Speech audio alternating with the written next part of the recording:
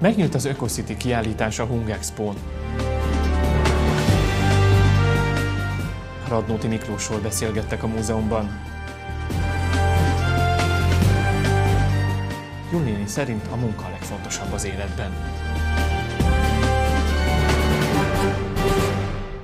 Jó estét kívánok! Napjaink egyik legfontosabb globális stratégiai hatáskörévé vált az energiaforrásokkal való gazdálkodás, fogalmazott Szabó Zsolt államtitkár szerdán az Okocity megnyitóján. A kiállításon az optimális energiahasználat felhasználási módját szemléltetik. Szerdán megnyílt a Kostruma 2015 építőipari szakkiállítás a Hungexpo vásárközpontban Budapesten. A vasárnapig tartó rendezvényen a kiállítók célja az, hogy bemutassák nem csak költséges megoldásokkal, hanem gondos tervezéssel, a megfelelő anyagfelhasználással és szakszerű kivitelezéssel is gazdaságosan lehet kevés energiával működtethető lakóházakat építeni. A kiállítás kiemelt része az Ökocity, amelyet Szabó Zsolt államtitkár a rendezvény fővédnöke nyitott meg. Napjaink egyik legfontosabb globális stratégiai hatáskörévé vált az energiaforrásokkal való gazdálkodás. Az energiahatékonyság fokozása azon lépések egyike, amelyek révén a lehető legnagyobb költséghatékonysággal növelhető az energiállátás biztonsága, és csökkenhető az üvegházhatású gázoknak a kibocsátása. Az energiarendszerek és a társadalom egészének sokkal energiahatékonyabbá kell válni, ez a kiállítás is ma erről szól. Az államtitkár leszögezte, a kormányzat arra törekszik, hogy az energiapolitikai célokkal összhangban olyan támogatási rendszereket dolgozzon ki és indítson el, amik elősegítik mindezt. Ennek része a 2014-ben elindított Otthon Melege program, amely segítségével a kazán háztartási gép és a homlokzati nyílás zárócsere programban összesen csak nem 30 ezer pályázatot hagyott jóvá a minisztérium. Szabó Zsolt hangsúlyozta, azon dolgoznak, hogy folyamatosan legyenek ilyen pályázatok, folyamatos lehetőségeket szeretnének biztosítani a lakosságnak. Kitért arra is, hogy a programban április 30-ától lehet pályázni a társasházak energetikai korszerűsítésére. Ferenc Győző költő műfordító volt a vendége a 60 Lajos Múzeum irodalmi estjének. Keresztesi József kritikussal beszélgettek a Radnóti Miklósról írt nagy monográfiájáról, valamint Gyarmati Fanni naplójának utógondozásáról.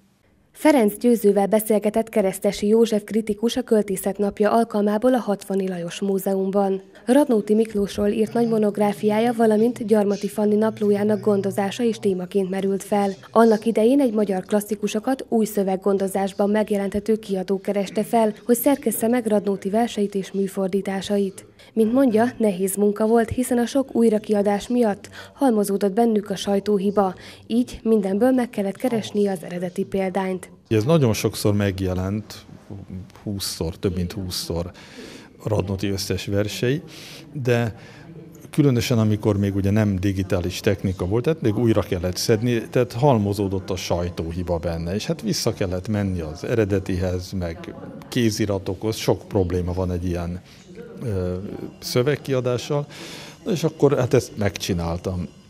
Emellett az író özvegyének Gyarmati Fanninak a naplóját is ő gondozta. A végrendeletében illetve hát egy, egy hagyatéki iratban, ő hát engem kijelölt a hagyaték gondozójának, ugye kvázi megbízott ezzel, tehát az én feladatom, hogy ezt gondozzam, és a napló kiadása is hát így történt. A napló nem, nem, úgy nem irodalmi napló abból a szempontból, hogy nem különösen ö, ö, szépen kimunkált mondatok ö, sorjáznak irodalmi eseményekről az utókor számára. Ő ezt saját magának gyorsírással írta a házasságkötésük előtt kezdte el, és Radnóti újratemetése után hagyta abba 1946-ban, tehát 11 év, 10-11 évet ölel át és napi eseményeket rögzít. Mi történt velük? A 60 Lajos Múzeum irodalmi estjein Keresztesi József kritikus a beszélgető partnere a vendégeknek. A programra már sok neves szemét hívtak meg.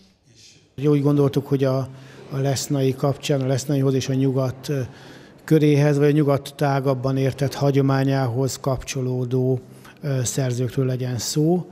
Ugye így volt egy beszélgetés Váradi Szabolcsal, volt egy beszélgetés Köri Zsimrével, aki költő irodalomtörténész magáról a nyugatról, a folyóiratról, volt egy beszélgetés Lator Lászlóval, volt ugye Havasréti Józseffel, aki Szerbantalról írt egy monográfiát, most Ferenc Győzővel beszélgetünk, részben Radnótiról, részben a saját működéséről, tehát erősen kapcsolódik mindegyik ahhoz a hagyományhoz vagy szellemi körhöz, amelyben Lesznai Anna is mozgott.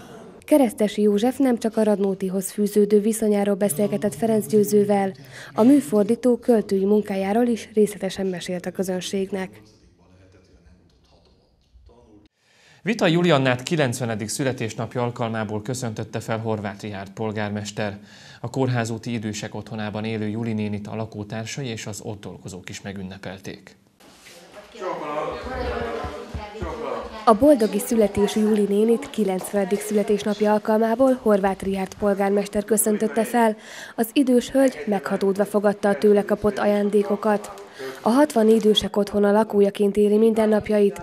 Horváth Gabriela, az intézmény vezetője azt mondja, náluk is mindig megünneplik a kerek évfordulókat, így Juli nénit is tortával és zenével köszöntötték. Hozzátette, az a tapasztalatuk, hogy az itt élő idős lakóknak nagyon sokat jelent, ha felköszöntik őket.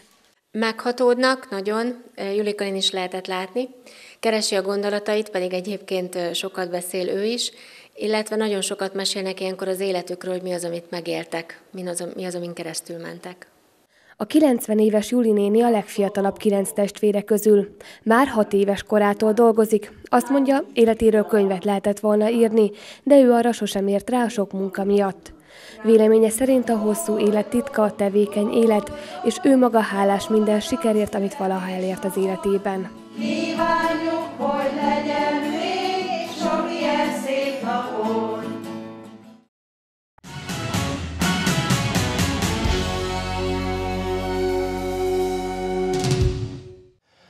A Városi Diágála döntőjét rendezik meg szombaton 10 órától a Nagyendre rendezvényteremben. Holnap megvastagszik a felhőzet, és egyre több felé várható eső, zápor, helyenként zivatar. A legalacsonyabb éjszakai hőmérséklet 9 és 15 fok között várható, a legmagasabb nappali hőmérséklet 19 és 24 fok között alakul. Kedves nézőink, Önök a híradót látták. Most a színpad következik, ha tehetik, tartsanak továbbra is velünk viszontlátásra.